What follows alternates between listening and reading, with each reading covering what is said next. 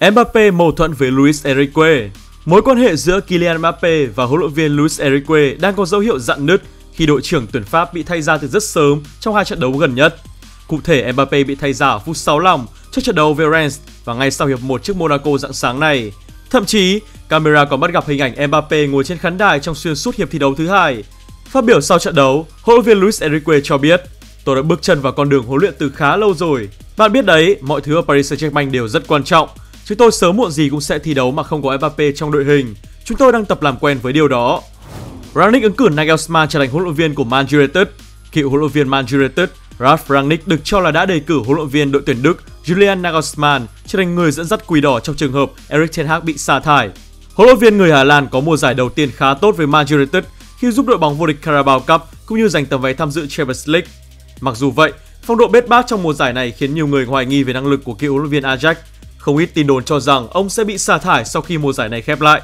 Cựu huấn luyện viên quỷ đỏ Rangnick đã đề cử Nagelsmann ngồi vào chiếc ghế nóng của đội chủ sân Old Trafford nếu như Ten Hag phải ra đi.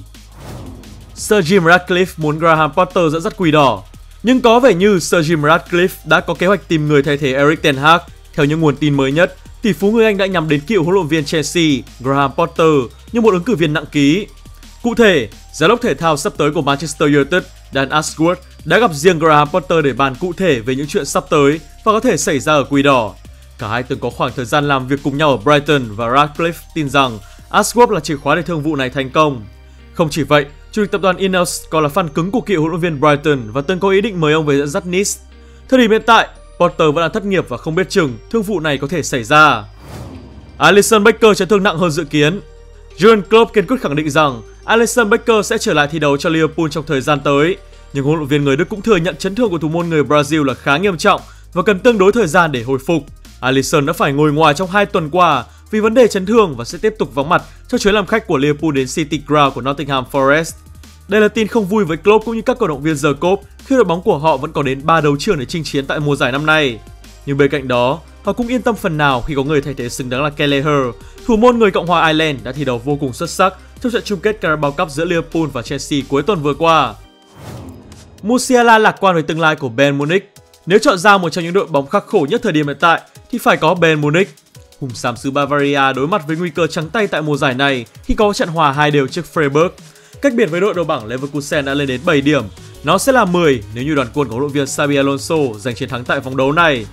Mặc dù vậy, Musiala vẫn lạc quan về tương lai của Jairo Ten. Phát biểu sau trận hòa trước Freiburg, cầu thủ 20 tuổi cho biết Chúng tôi là Bayern Munich và chúng tôi ghét thua cuộc. Kể từ khi gia nhập câu lạc bộ, tôi biết rằng Bayern luôn muốn giành chiến thắng qua các trận đấu. Dù vậy, ở mùa giải này mọi thứ đang diễn ra không như ý muốn. Nhưng chúng tôi là Bayern, chúng tôi sẽ tìm lại chính mình và giành lại ngôi vương mà lẽ ra chúng tôi phải thuộc về. Mason Greenwood muốn trở lại Man United vì lý do này. Tiền đạo Mason Greenwood tin rằng việc anh trở lại Man United có thể giải quyết được vấn đề hôn nhân của bố mẹ anh. Cha và cũng là người đại diện của anh, ông Andrew Greenwood đang cùng anh sinh sống tại Tây Ban Nha, trong khi mẹ của anh, bà Melanie Greenwood vẫn đang sinh sống ở Anh. Vì mâu thuẫn trong cuộc sống khiến bố mẹ của Greenwood phải sống ly thân như thời điểm hiện tại. Tiền đạo 22 tuổi rất muốn hàn gắn mối quan hệ này và anh tin rằng việc quay về Man United có thể giúp anh làm điều đó. Nếu thông tin này là sự thật, những người vui nhất không ai khác ngoài các cổ động viên Man United khi họ rất mong anh quay trở lại sau khi chứng kiến phong độ bết bát trên hàng công của đội bóng. Ngoài những breaking news nóng hổi, chúng ta cùng đến với những tin tức khác. Jack Grealish đã bị loại khỏi danh sách chuẩn bị của Man City cho trận derby Manchester vào chủ nhật sắp tới.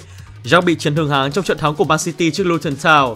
Điều này khiến anh buộc phải bỏ lỡ trận đấu với Man United. Huấn luyện viên Pep Guardiola cũng tiết lộ rằng ông biết khi nào Jack có thể trở lại. Cậu ấy gặp chấn thương và không thể ra sân vào cuối tuần này. Đó là điều tôi có thể khẳng định.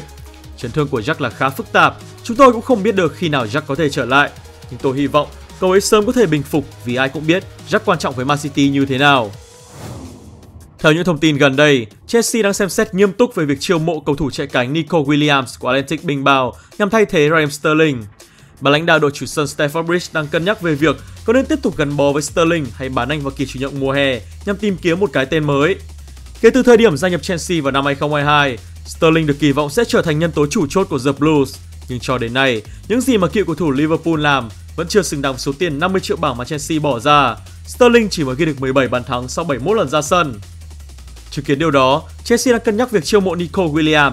Cầu thủ người Tây Ban Nha đã ghi được 6 bàn thắng cùng 11 đường kiến tạo sau 27 lần ra sân cho Bình Bao tại mùa giải này. Theo một báo cáo, có những thông tin cho rằng Arsenal đang xem xét việc có nên giải cứu bom xỉ của Chelsea mang tên Mikhailo mudrik hay không. Kể từ khi gia nhập The Blues vào kỳ chuyển nhượng mùa đông 2023, cho đến nay, mudrik vẫn chưa chứng tỏ được quá nhiều điều. Trên thực tế, Arsenal mới là đội bóng mà mudrik ưu tiên gia nhập hơn và pháo thủ cũng rất muốn sở hữu chữ ký của cầu thủ người Ukraine. Bà lãnh đạo Arsenal đang xem xét việc mượn cầu thủ 23 tuổi khi kỳ chuyển nhượng mùa hè 2023 mở cửa. Nhưng nó còn tùy thuộc vào quyết định của Chelsea có muốn để Modric ra đi hay không. Sandro Tonali đang chấp hành án phạt 10 tháng sau những hành vi cá độ thể thao. Hiện tại, tiền vệ người Ý vẫn đang tập luyện cùng với những người đồng đội tại Newcastle và mới đây, huấn luyện viên Eddie Howe cho biết Tonali đang có những giáo án riêng nhằm duy trì thể trạng sau khi án phạt kết thúc. Phát biểu về câu chuyện này, Howe cho biết Chúng tôi rất nhớ Tonali, Newcastle đang trải qua giai đoạn khó khăn khi vận đen chấn thương cứ liên tục báo đến câu lạc bộ. Hơn này hết, tôi mong Tonali có thể sớm trở lại càng nhanh càng tốt, nhưng cũng chỉ có thể vào mùa giải năm sau. Hiện tại, cậu ấy vẫn đang luyện tập chăm chỉ hàng ngày. Chúng tôi đã có một giáo án chuyên biệt để giúp cậu ấy duy trì thể trạng sung mãn nhất. Tài năng trẻ Ansu Fati đã được Barcelona đem cho mượn tại Brighton vào mùa giải này. Mặc dù vậy, cầu thủ người Tây Ban Nha chưa thể hiện được quá nhiều. Không chỉ vậy, anh cũng mới chỉ quay trở lại sau chấn thương. Huấn luyện viên Roberto De Zerbi đã đưa ra những lời khuyên cho Fati nếu muốn tìm lại phong độ. Cậu ấy cần phải nỗ lực hơn 100% mỗi ngày. Cậu ấy cần phải cải thiện vóc dáng cũng như tự tin vào khả năng của bản thân. Tôi biết Fati là một cầu thủ tài năng, nhưng chấn thương đang ngăn cản sự phát triển của Fati. Cô ấy rất chăm chỉ và hoàn thành tốt những giáo án tập luyện, nhưng như thế vẫn chưa đủ. Cô ấy cần phải nỗ lực hơn nữa mới tìm lại được phiên bản hoàn hảo nhất của chính mình. Matias Sole đã thu hút được sự chú ý từ một số câu lạc bộ tại Premier League khi anh liên tục tạo ấn tượng ở Syria trong khoảng thời gian đã được cho mượn tại Frosinone từ Juventus. Cụ thể, cầu thủ người Argentina đã có 10 bàn thắng và hai được kiến tạo sau 27 lần ra sân ở mùa giải năm nay. Frosinone muốn tiếp tục giữ chân Sole thêm một mùa giải nữa, nhưng động thái của tiền đạo 20 tuổi là muốn trở về Juventus vào mùa giải tới nhằm cạnh tranh suất đá chính. Mặc dù vậy, Biasoneri cũng đang xem xét đến chuyện bán anh cho các câu lạc bộ tại Hoàng Anh nếu nhận được một mức giá hợp lý. Frank Lampard mới đây đã tiết lộ về tương lai của mình. Huyền thoại của Chelsea đã thất nghiệp được 10 tháng sau khi rời London vào cuối mùa giải trước. Kể từ thời điểm đó, Lampard làm việc như một chuyên gia phân tích bóng đá cho các kênh đài truyền hình của nước Anh. Tuy nhiên, Super Frank thừa nhận ông rất muốn trở lại làm huấn luyện viên bóng đá. Hiện tại Lampard đã tận hưởng cuộc sống với những đứa con của mình, nhưng cũng không quên theo dõi tin tức bóng đá trong nước và chờ đợi cơ hội được trở thành huấn luyện viên của một câu lạc bộ nào đó. Cảm ơn các bạn đã quan tâm theo dõi những tin tức thú vị trên kênh Bình luận viên Anh Quân News. Chúng ta vẫn sẽ đồng hành cùng nhau ở những bản tin sáng, trưa, chiều ở mọi ngày. Hy vọng bạn sẽ không bỏ lỡ bất kỳ tin tức nóng hổi nào trong ngày khi theo dõi kênh. Cảm ơn các bạn và đừng quên nhấn like cho video nha. Hẹn gặp lại ở những video tiếp theo.